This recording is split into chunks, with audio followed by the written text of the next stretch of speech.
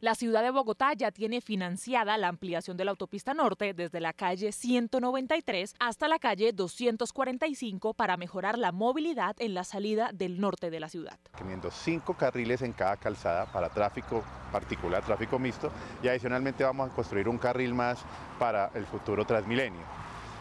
Eso incluye también la construcción de dos pasos, de dos, dos, puentes vehiculares en la 232 y en la, 2, en la 235 y en la 242. Este proyecto se llevará a cabo por un convenio entre el Instituto de Desarrollo Urbano IDU y la Agencia Nacional de Infraestructura ANI y beneficiará a dos millones de personas. Esta ampliación de la autopista norte incluye el mantenimiento y mejoramiento de las calzadas existentes, trabajos que se empezarán a realizar en dos semanas. Es una obra que está haciendo muchísima falta. Eh, entrar y salir de Bogotá es supremamente complicado, la congestión cada día es mayor y yo creo que a tiempo llega esta obra. Esta construcción tendrá inicio en el 2023 y terminará en el año 2029. Mejorará totalmente la movilidad en el norte y hacia los pueblos aledaños.